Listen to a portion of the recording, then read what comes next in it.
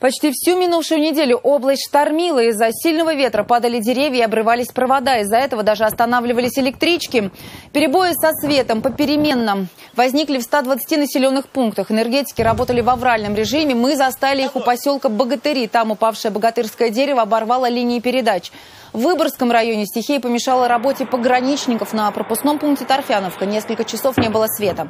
Деревья с корнем вырвало в поселке Верховском и в самом Выборге. Там пострадал стадион «Авангард», где под тяжестью упавших деревьев рухнуло ограждение. Но в поселке Гвардейский фонарный столб упал на старенькие «Жигули».